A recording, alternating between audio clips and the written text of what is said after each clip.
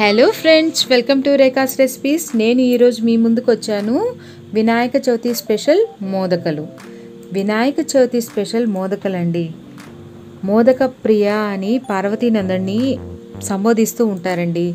పార్వతీనందుని ఏంటంటే వినాయకుడికి మోదకలు అంటే చాలా ప్రీతికరమైనవి.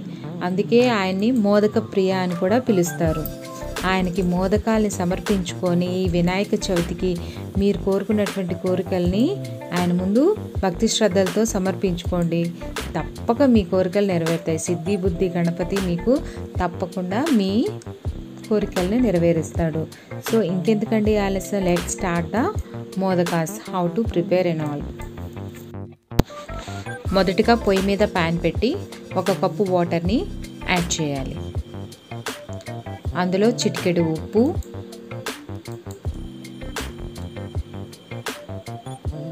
ఒక టీ స్పూన్ పంచదార.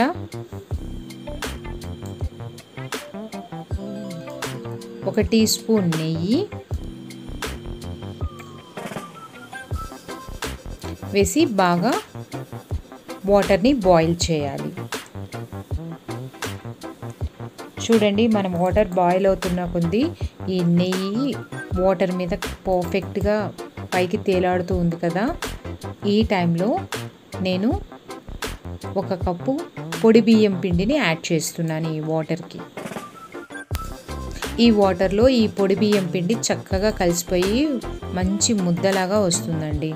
ఈ కన్సిస్టెన్సీని నేను ఇప్పుడు చూడండి పొడి బియ్యం పిండి మొత్తం తడిగా ముద్దలాగా తయారవుతుంది కదా. ఇప్పుడు నేను స్టవ్ ఆఫ్ చేసేసి దీని మీద ఒక ప్లేట్ పెట్టి ఒక ఫైవ్ మినిట్స్ వెయిట్ చేశాను. తర్వాత వేరొక ప్యాన్ తీసుకొని ఆ ప్యాన్లో రెండు టేబుల్ స్పూన్స్ నెయ్యిని వేయాలి. ఈ నెయ్యి కొద్దిగా మరిగిన తర్వాత ఒక కప్పు కొబ్బరి తురుము అరకప్పు బెల్లము యాడ్ చేయాలి.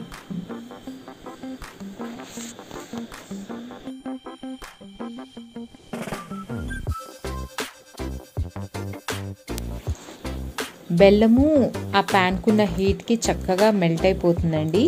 ఈ కొబ్బరిలో వచ్చేటువంటి నూనె ఇంకా మనం ఆల్రెడీ యాడ్ చేసుకున్నటువంటి నెయ్యి ఈ బెల్లము చక్కగా ఈ మిశ్రమం బాగా కలిసిపోయి మంచి మంచిగా ఫ్రై అవుతుందండి కొబ్బరి. అసలు ఈ కొబ్బరి వేగుతుంటే ఎంత సువాసన భరితంగా ఉంటుందోనండి నెయ్యిలో. చూడండి ఈ కొబ్బరి బెల్లం బాగా గోల్డెన్ బ్రౌన్ కలర్ వరకు వచ్చింది. ఇందాక మనం తయారు చేసుకున్నాం కదండి బియ్యం పిండి. ఆ పిండిని నేను కొద్దిగా చల్లారిన తర్వాత గోరువెచ్చగా ఉన్నప్పుడు బయటకు తీసి దాన్ని బాగా మిక్స్ చేస్తున్నాను. ఇప్పుడు చూడండి కొంత పిండిని తీసుకొని మంచిగా రౌండ్గా చేసుకోండి. రౌండ్గా చేసుకున్న తర్వాత దాన్ని ఫస్ట్ అప్పాలాగా ఒత్తుకోవాలి.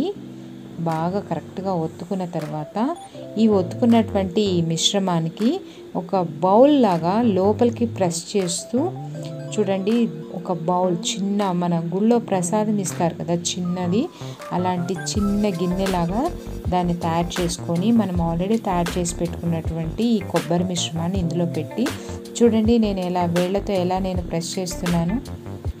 ఒక ఫ్లవర్ లాగా ఇలా ప్రెస్ చేసుకుంటూ ఈ మిశ్రమాన్ని కవర్ చేసేయాలండి.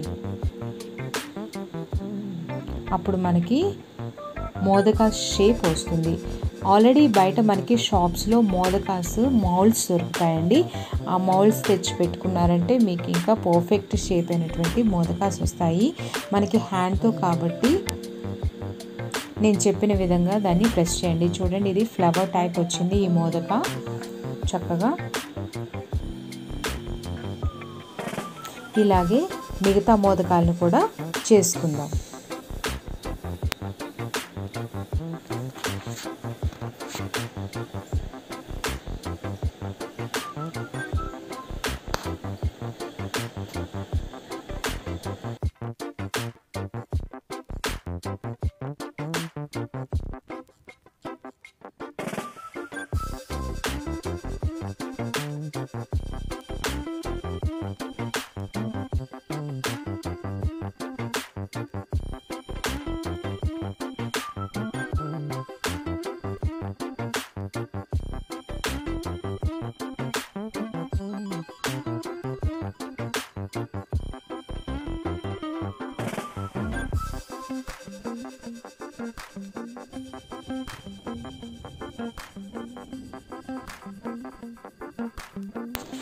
ఇప్పుడు ఇడ్లీ పాత్రను కొద్దిగా నీరు పోసి అడుగున వేడి చేసి దానిపైన ఇడ్లీ ప్లేట్స్ ఉంచానండి.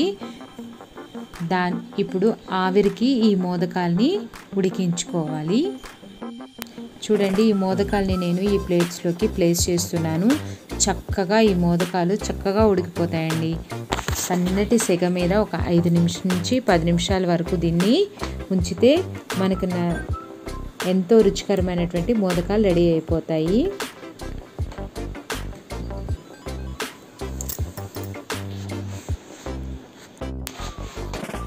ఇప్పుడు చూడండి ఈ మోదకాలు చక్కగా ఉడికిపోయాయండి. నాకు కరెక్ట్గా సెవెన్ మినిట్స్ టైం పట్టింది. చూడండి ఇవి చాలా పర్ఫెక్ట్గా ఉడికిపోయాయి. ఉడకకపోతే పచ్చిగా ఉంటాయి.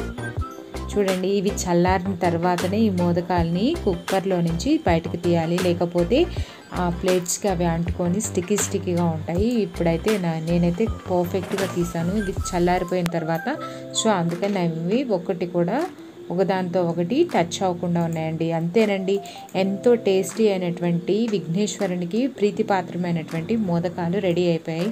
చూడండి దీన్ని నేను ఇప్పుడు ఒకటి ఓపెన్ చేసి చూస్తున్నాను. లోపల చక్కగా స్వీట్ స్టఫింగ్ ఉందండి. ఇది చాలా బాగా కుక్ అయింది. అందుకే మనకి ఎటువంటి స్టిక్కీనెస్ లేకుండా పర్ఫెక్ట్గా విడిపోయింది. సో మీరు కూడా ఒకసారి ఈ మోదకాలని ట్రై చేసి వినాయకుడికి నైవేద్యంగా సమర్పించండి. మీరు కనుక మొట్టమొదటిసారిగా నా ఛానల్ కనుక చూస్తున్నట్లయితే సబ్స్క్రైబ్ చేయండి. పక్కనే ఉన్నటువంటి బెల్ ఐకాన్ని ప్రెస్ చేయండి. నోటిఫికేషన్ రూపంలో నేను చేసేటువంటి ప్రతి వీడియో ఫస్ట్ మీకే వస్తుంది.